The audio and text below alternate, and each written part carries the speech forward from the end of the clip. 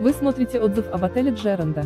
Этот отзыв был оставлен на просторах интернет-путешественником с ником Картинка, который был в нем в 2009 году.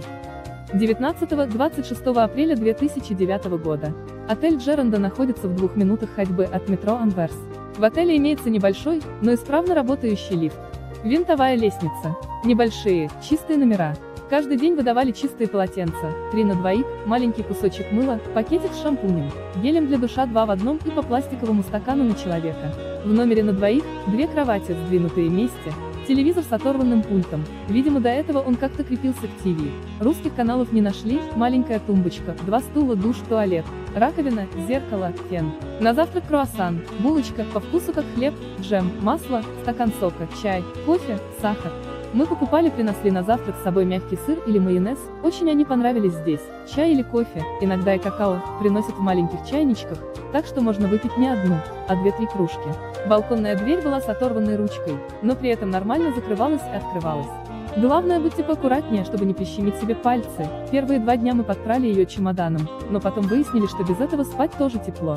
Конечно, номер маленький, но в нем мы только ночевали, сил хватало лишь на душ и вино с сыром.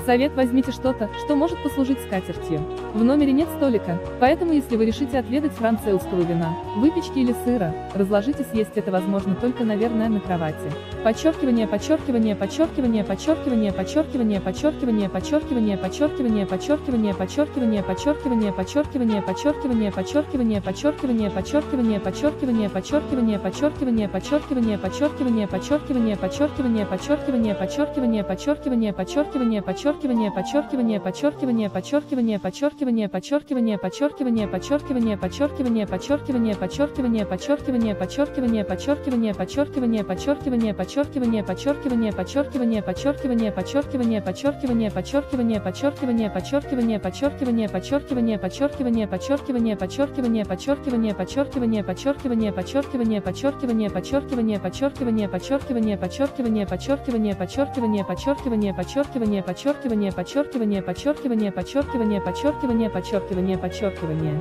Париж в Эпереле прекрасен. Цветет все и всюду. Средняя дневная температура была плюс 17-19 градусов. Экскурсии не брали, исследовали город и окрестности сами. Очень много времени хочется проводить на Монмартре. Приехали в воскресенье, и сразу же отправились туда. На лужайке сидело много людей, слушающих местного музыканта, исполнявшего известные хиты, такие как Ю-2 Ван. Очень понравились кафе со свежей выпечкой. Сама атмосфера располагает к тому, чтобы в конце дня сесть в одном из таких маленьких кафе-ресторанчиков и просто наслаждаться окружающей тебя обстановкой. Немного ознакомиться с городом нам помог большой желтый двухэтажный автобус Open Tour, мы брали билет у водителя на два дня. Кстати, по городу также разъезжают двухэтажные автобусы другого цвета, например, красного, но это уже транспорт другой компании, а поначалу мы все хотели туда сесть. Билет на автобус Open Tour на один день стоит 29 евро, на 2 – 32, ребенку – 15. Единственное, сложно найти работающие разъемы для наушников, и тем более, чтобы работали на русском языке. Но и без них очень понравилось. Катались на кораблике Батабас, www.batabas.com. Если вы студент, возьмите с собой ваш студенческий билет. У меня, к сожалению, не было его с собой, но если бы я его предъявила, то получила бы скидку на кораблик. Так мне объяснила кассирша, причем я у нее переспросила, действует ли скидка, если у меня нет международного студенческого, на что она мне ответила, что нужно предъявить тот, который у меня в стране.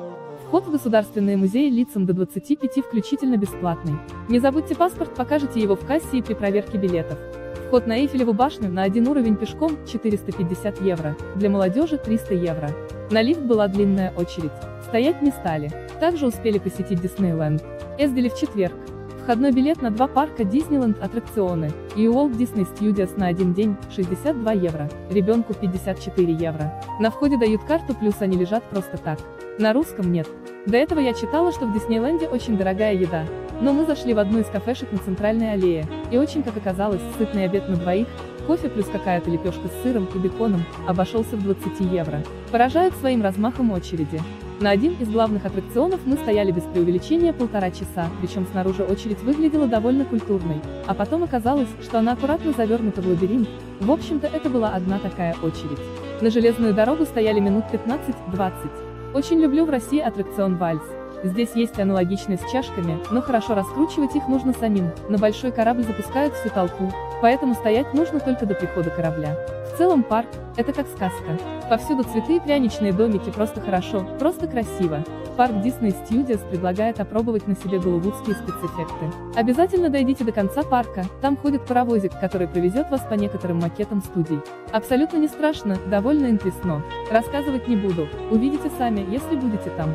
Если вы не любите резких взлетов и падений, не заходите в The Hollywood Tower Hotel. Для начала постойте на улице и понаблюдайте за лицами людей в иногда открывающихся зеленых окошках наверху и решите для себя, нужно вам это или нет. Были в Версале. В субботу. Добирались на двухэтажной электричке РЭР до остановки Варсай, Ривы Гоуш. Мы делали пересадку с метро на станции Чем Марс Тур Эйфел, где мужчина-кассир подробно разъяснил нам, куда дальше пройти, какой номер поезда и так далее, но быстро вникаешь в систему и без объяснений. Электричку нам пришлось ждать около 30 минут. Приехав на место, переходите дорогу и идите направо, следом за толпой. Если хотите посетить дворцы, вам в большую очередь на входе, минут 40 стоять. Если нужны только фонтаны, не стойте, проходите дальше. Там будут кассы с совсем маленькой очередью, 8 евро билет. Фонтаны по выходным работают по графику. Вместе с планом на входе можно взять их расписание. Но лучше посмотрите его дома на официальном сайте Версаля, чтобы сориентироваться.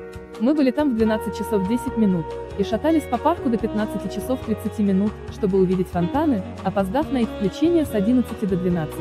В итоге появилось огромное желание показать этим людям наш Петергоф. Все-таки у нас интереснее, на мой взгляд. Здесь исключение фонтанов делают огромное событие, у нас же в любой день приходи фотографируйся и получай впечатление от прыжков с зонтиком между струйками воды. Также ездили в Реймс дегустировать шампанское, но об этом будет рассказано отдельно чуть позже. Впечатлений и фотографий масса, все понравилось. Париж – это город, в котором хочется остаться чуть подольше. В описании к этому видео есть ссылка и на другие отзывы про этот отель. В нашем туристическом агентстве вы можете без лишней переплаты заказать тур в этот и другие отели. Пожалуйста, обращайтесь, всегда рады вам помочь.